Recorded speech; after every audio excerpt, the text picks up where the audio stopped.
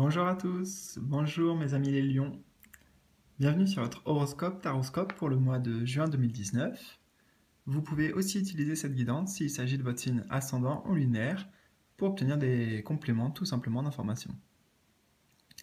Merci vraiment à tous hein, pour votre soutien, pour vos, ondes positives, pour votre énergie, pour mes chers abonnés aussi et surtout qui, qui, me suivent tout simplement sur ma chaîne et qui me permettent bah, de continuer hein, à fournir du, contenu parce que bah, vous me donnez surtout la motivation, la, motivation nécessaire et je le fais vraiment avec plaisir. N'hésitez pas à liker, partager autour de vous et avec les autres si vous aimez ce que j'ai à proposer. Et vous pouvez me laisser un petit commentaire justement pour me dire comment ça fait écho pour vous. Et pour ceux qui désireraient une voyance personnalisée, euh, vous pouvez tout simplement m'envoyer un mail directement euh, sur, euh, en passant par mon site. Euh, donc vous trouverez les, informations en bas de cette vidéo. Voilà, alors, j'ai décidé ce mois-ci pour les signes astrologiques de faire quelque chose de différent, c'est-à-dire de proposer un choix par tas, tout simplement en essayant de voir si les messages que vous allez capter vous seront encore plus précisément adressés. Alors pour ça, je vous demandais si vous voulez bien de jouer le jeu. Fermez les yeux, détendez-vous, prenez de grandes et longues inspirations et expirations. Et moi, je vais installer le matériel.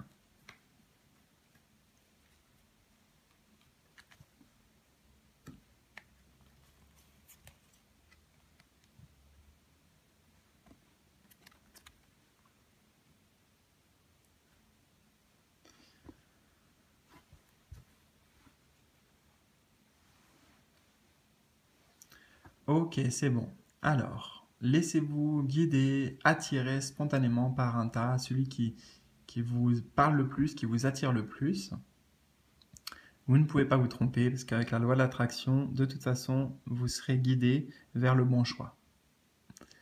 Alors, tas numéro 1, tas numéro 2, tas numéro 3. Donc je vais commencer tout de suite par le tas numéro 1.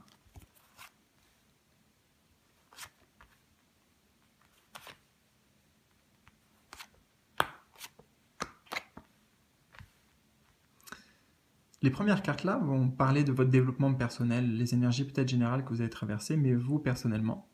Ici, nous aurons la sphère relationnelle, amoureuse, sentimentale, et ici la sphère professionnelle. Alors, découvrons ça ensemble. Fécondité et carrefour. Ok. Alors, pour vous, il y a vraiment euh, la, en fait, la naissance d'un projet à venir, j'ai le sentiment, avec cette carte. Un, projet important, quelque chose qui, qui, vous tient à cœur et qui pourrait euh, vraiment vous combler. Maintenant, là, on est dans la fécondité, c'est-à-dire que c'est en train de grandir, c'est euh, en train de prendre forme. Alors, à la fois, j'ai l'impression à l'intérieur de vous, donc c'est-à-dire dans votre motivation, dans votre état d'esprit. Alors, je ne sais pas, hein, parce que là, c'est très général. Donc ça peut vraiment euh, arriver dans tous les domaines, professionnels, sentimental, autres, je ne sais pas, mais euh, un gros projet, un gros projet sur votre chemin de vie, j'ai l'impression, un, choix important à faire aussi avec cette carte. Euh, peut-être un, choix suivant le, justement l'orientation que vous voulez prendre, le, désir que vous avez et vous voulez qu'il se concrétise j'ai l'impression que c'est quelque chose peut-être qui date d'un certain temps, en fait. Une idée, une sorte d'idée que, que vous aviez ou que vous avez eue euh, récemment, qui vous pousse à aller de l'avant et à effectuer un changement, surtout. Hmm? Un changement de vie.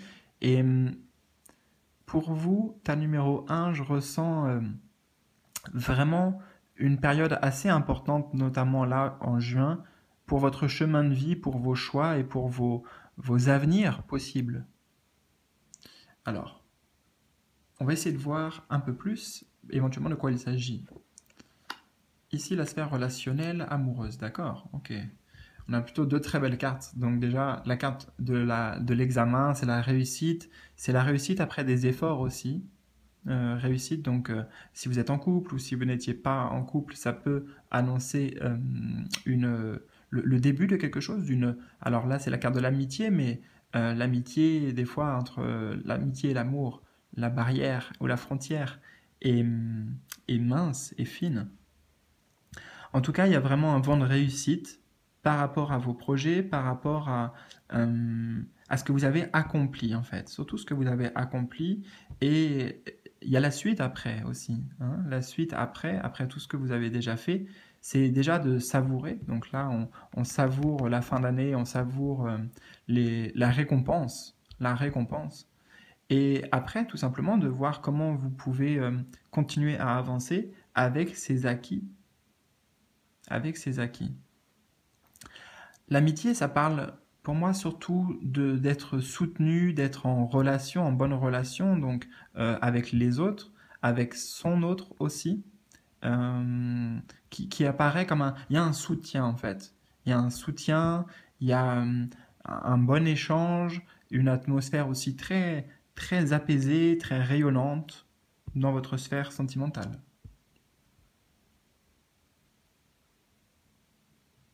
Oui, c'est surtout ça. Je dirais que enfin là, je fais assez, assez simple et assez vite aussi, mais parce que ça l'est, c'est-à-dire que ce sont vraiment ces énergies-là de, euh, de, bonheur, de réussite, de célébration, euh, et aussi euh, couplé à ça avec le, partage, avec le, les, les, efforts communs en fait aussi, les efforts communs si vous êtes en couple notamment, et un soutien, un soutien mutuel, l'un pour l'autre. C'est aussi comme ça qu'on pourrait le dire. Vous êtes l'un pour l'autre.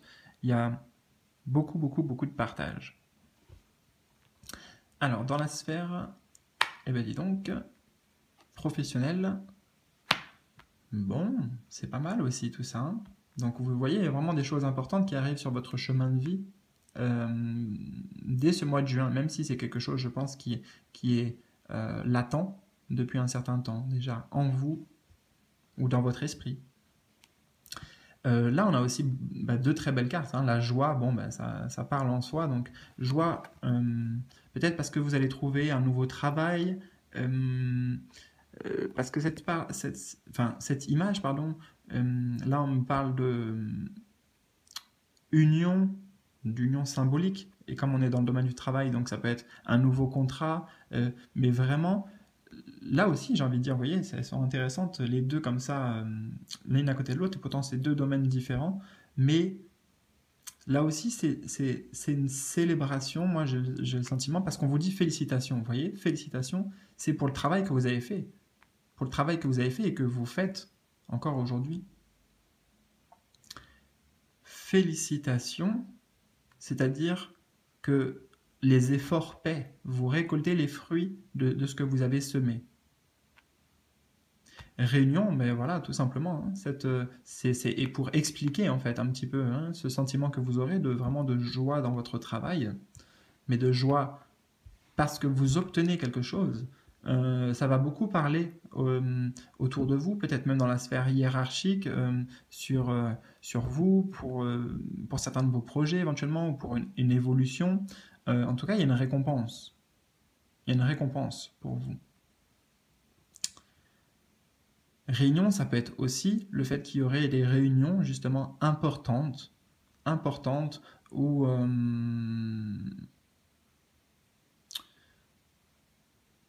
où, vous prenez votre place en fait.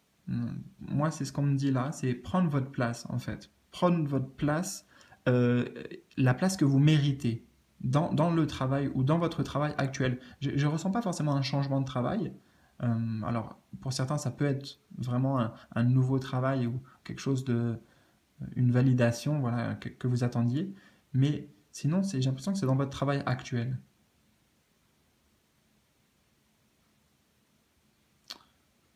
Voilà, bon, les messages étaient assez simples au final, donc euh, justement, je vais vous laisser quelques instants pour vous laisser imprégner des mots qui sont très parlants pour le coup, et aussi des, images voilà, de mes mots, de, pour voir tout simplement comment ça fait écho pour vous intérieurement.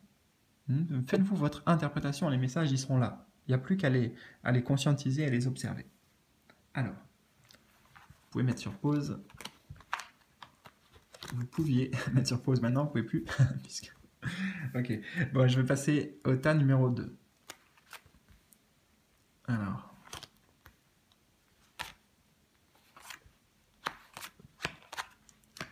tas numéro 2. Ici, nous avons les cartes qui correspondent à vos développements personnels durant ce mois, à votre évolution personnellement ou spirituelle aussi.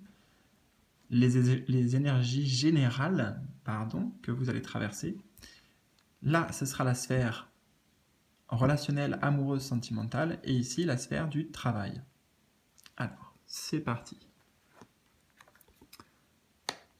Armes et élévation.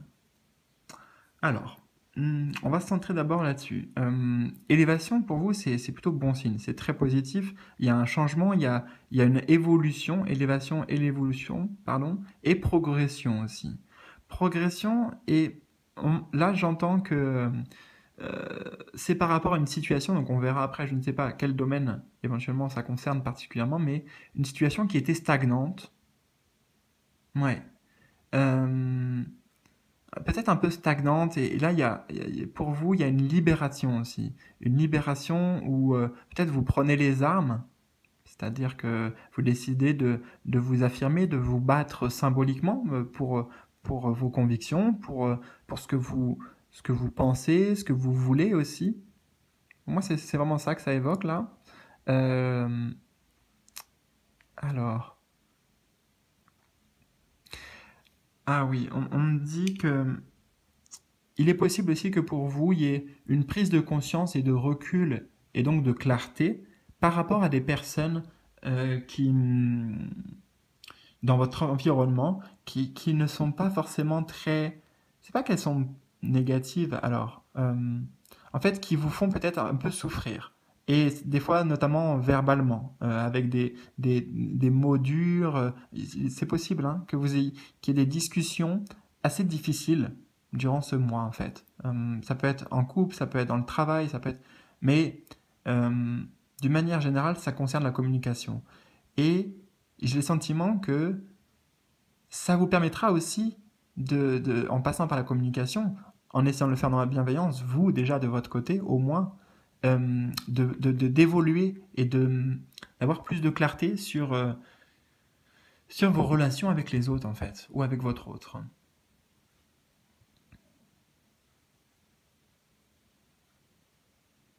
Et on vous demande hein, de vous protéger aussi. De vous protéger, oui, bah, par rapport à certaines personnes qui peut-être qui vous lancent des pics. Hmm, qui vous lance des pics, qui essaie de vous atteindre, il peut y avoir de la jalousie, enfin, il y a beaucoup d'énergie comme ça que je ressens aussi, un peu autour de vous. Hein. Mais c'est en vous élevant, en prenant de la distance par rapport à ça aussi, que bah justement vous, vous évoluerez, vous, vous grandirez. Alors voyons voir dans la sphère sentimentale amoureuse. On a la méditation et le saut. Alors, ce sont des cartes vraiment plutôt positives, euh, même si elles n'indiquent pas forcément d'action concrète, notamment avec cette carte de la méditation, euh, puisque au, contraire, c'est plutôt une sorte de, moi on me dit, de, pause, de pause méditative, méditative ou introspective. Euh, oui, introspective, pour vous. C'est-à-dire que justement, vous voyez, ça rejoint un peu ça, là, éventuellement. Le fait de prendre de la distance, de la hauteur, et en vous retrouvant, notamment en vous retrouvant avec vous-même, euh, retrouver cette lumière, en fait. Cette, lumière qui, qui vous anime. Alors, je sais qu'ici, on est dans la sphère relationnelle amoureuse, mais je ressens des énergies très personnelles ici, en fait, pour vous. Ça ne veut pas dire que vous n'êtes pas en couple, ça ne veut pas dire que vous n'allez pas forcément rencontrer quelqu'un, mais bon, j'ai tiré que deux cartes, donc ces deux cartes, elles sont forcément très importantes puisque c'est l'énergie principale qui ressort. Et justement, cette, cette carte quand même, euh, qui est très très puissante en soi même, qui parle du saut, ça parle de l'officialisation pour moi aussi, officialiser les choses, officialiser une relation, éventuellement. Euh, le saut, c'est le, ah, c'est la marque du, pouvoir. La marque du pouvoir de... Euh, ouais, donc je vais rebondir là-dessus parce que j'ai l'impression qu'il y a besoin de reprendre aussi pour vous votre pouvoir personnel dans la sphère relationnelle amoureuse. Retrouvez votre pouvoir, votre lumière, votre force intérieure. Et ça passera par cette introspection, cette méditation, cette, cette prise de recul pour vous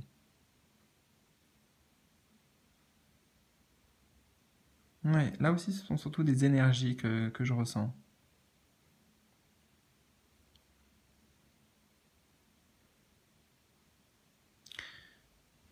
Ok. J'essayais de voir si je, il y avait d'autres choses, mais euh, comme je vous dis, pour moi, c'est comme une... Euh, euh, comment expliquer ça? Bah oui, une, puissance en fait, une puissance, une, énergie qui, qui vous guide et que vous allez surtout ressentir. Donc, je ne sais pas l'impact que ça aura, vraiment par exemple en couple ou si vous êtes célibataire, mais si vous arrivez justement à, à retrouver ce pouvoir personnel, euh, ça s'annonce très lumineux pour vous. Très lumineux. Alors, dans la sphère du professionnel maintenant, on a pénitence et ordre. Ok, alors, il est possible pour vous, je ressens surtout, qu'il y ait euh, euh, l'annonce d'une nouvelle qui soit un peu difficile à, encaisser, donc je ne sais pas ce que c'est comme nouvelle, euh, mais quelque chose qui ne vous réjouira pas forcément. Hein. Avec ces deux cartes aussi, je sens pour vous, donc autre énergie, comme une, des responsabilités, beaucoup de responsabilités très importantes, peut-être trop importantes, et aujourd'hui, il sera temps de, enfin ce mois-ci, pardon, il sera temps de remettre les choses en ordre pour vous, de, euh, vous, vous centrez peut-être, enfin, à la fois vous centrez sur vraiment les priorités, les priorités, et déléguer ce que vous pouvez déléguer aussi, parce que, euh, notamment là, hein, je ressens moi-même là, euh, sur un poids sur les épaules, donc vraiment une sorte de pression, il y a une sorte de pression sur vous. Soit que vous vous mettez, ou soit même qui, qui ne vient pas de vous, hein, ça peut venir aussi vraiment de, de l'extérieur, de quelqu'un de, d'un supérieur par exemple, c'est quelque chose de haut, quoi. Hein voyez, symboliquement, c'est haut. C'est. Euh, d'ailleurs, justement, l'annonce qu'il pourrait y avoir, ça peut venir de plus haut, dans la hiérarchie, si je peux dire. Mais de toute façon, que ça vienne, en fait, là, on vous dit que ça vienne de d'en haut, de, enfin, pardon, de l'extérieur, excusez-moi, ou de, de, vous intérieurement, cette responsabilité, cette, cette charge que vous avez, euh, parce que euh, physiquement aussi, vous, mettez beaucoup d'énergie à la tâche, hein, physiquement et psychologiquement. Euh, donc faites attention, faites attention aussi qu'il n'y ait pas un rappel à l'ordre, justement. Ou là, c'est peut-être un peu comme un rappel à l'ordre, c'est-à-dire, bon, prenez aussi du temps pour vous, pour décompresser, vraiment, pour décompresser.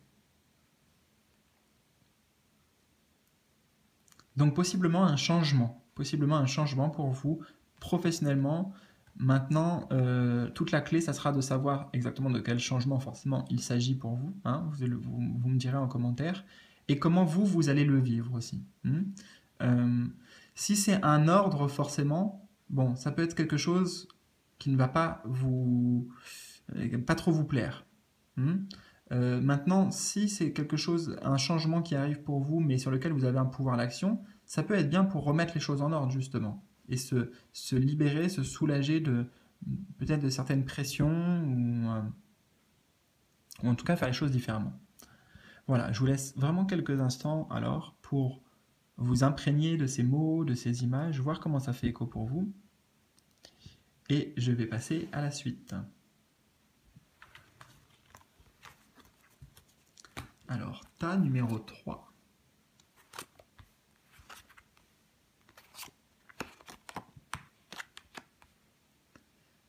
Numéro 3. Ici, ce sont les cartes qui vont correspondre à votre développement personnel. Vous, ce mois de juin.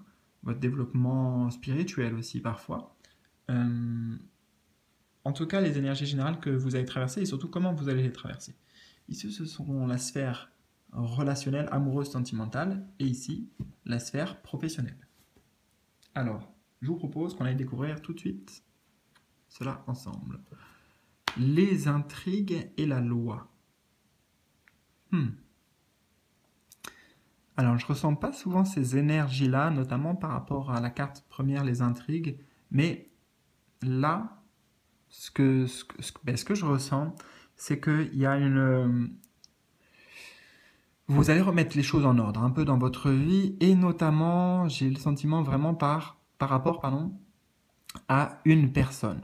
Une personne, euh, je ne sais pas dans quel domaine elle intervient, on le verra certainement, ou je l'espère, avec euh, la suite, ici ou ici, mais il euh, y, a quelqu'un qui, est un peu filou avec vous, euh, filou qui est où ses intentions ne sont pas forcément claires, et j'ai le sentiment que ce mois-ci, c'est justement le mois où vous tranchez aussi. Hein. Vous tranchez dans vos décisions, dans les gens avec qui vous voulez vous entourer ou pas. vous essayez de faire de ce qui est le plus juste pour vous. Donc c'est bon pour vous. Mais éventuellement, ça, amènera à se séparer de certaines personnes aussi, ou prendre de la distance avec certaines personnes. Et notamment des, personnes qui... ou une personne qui comme je vous dis, euh, je, ressens un mystère en fait, un mystère sur cette personne, quelque chose qui est louche peut-être, un petit peu, un petit peu louche. Alors attention, hein, il ne faut pas être parano partout euh, et voir euh, dès, que quelqu'un vient à vous en vous proposant quelque chose, euh, non mais lui c'est louche. non, on peut proposer aussi, mais en fait je sens que vous le sentirez. C'est vous qui le sentirez, donc soyez votre propre juge, votre propre arbitre par rapport aux, personnes que vous allez fréquenter et essayez juste d'être en, observation, hein, dans la position de l'observateur, c'est-à-dire, d'accord, j'accueille les faits J'accueille les faits, je, regarde, voilà, c'est ça, hein, la justice, elle, s'intéresse surtout aux faits. Enfin, la justice, la loi, pardon, s'intéresse surtout aux, faits concrets, et après on analyse, on décortique, et on prend une décision. Donc, vous aurez cette capacité et à regarder précisément euh, qu'est-ce que les autres font dans le concret, quelles sont leurs, leurs actions concrètes, et non pas, vous allez peut-être pas les juger, mais en tout cas, vous allez euh, faire des choix. D'accord. Alors, dans la sphère relationnelle, ok, ok, amoureuse.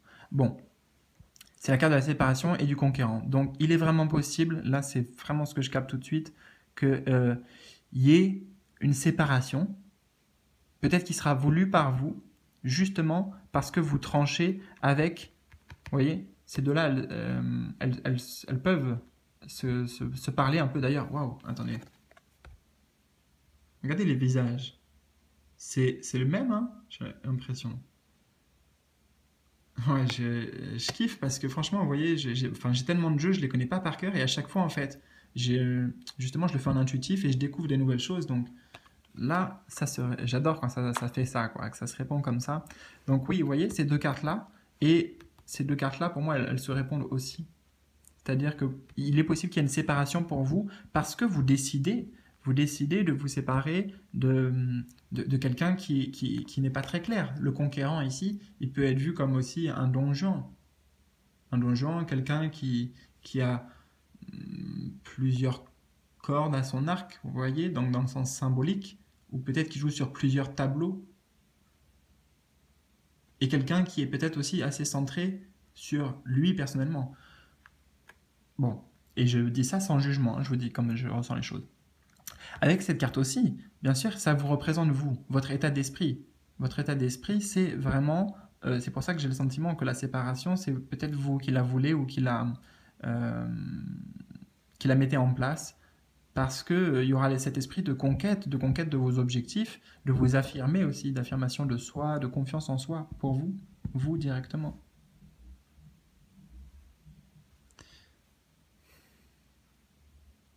La séparation, ce n'est pas forcément, alors c'est vrai que c'est la première chose forcément que j'ai capté, mais ce n'est pas uniquement la séparation avec votre autre si vous êtes en couple. Ça peut être en tout cas de se séparer de certaines choses de certaines choses, euh, euh, mais importantes, hein, euh, pour, que la, pour que la relation pardon, évolue. Et ça, ça demande de vous affirmer. Donc là aussi, encore une fois, j'ai l'impression que le, le, la décision, quelque part, vous appartient. Et là, il suffit de vous faire confiance aussi. Il suffit de vous faire confiance. Alors, je vais regarder maintenant ce qui se passe pour vous dans la sphère professionnelle, les autres, la femme. Beaucoup d'ouverture, beaucoup d'ouverture pour vous, de contact avec les autres, voire même avec l'étranger. Euh, quand je dis d'ouverture et de contact avec les autres, je parle dans tous les sens, c'est-à-dire euh, avec des clients, avec... Euh, il y a beaucoup de passages en fait, beaucoup de passages, beaucoup de commerce. c'est pour ça que je parle d'échange et de partage, mais on est dans la sphère professionnelle. Hein. teamwork, voilà aussi ce que j'entends, teamwork. Donc beaucoup de travail en équipe, mais dans la positif, quoi. Euh, travail d'équipe euh, et, chacun apporte euh, sa patte, donc vous aussi, hein, vous aussi. Et vous d'ailleurs, vous allez surtout apporter beaucoup de créativité. Moi, c'est beaucoup de créativité cette carte. Attendez, je regarde un peu plus près.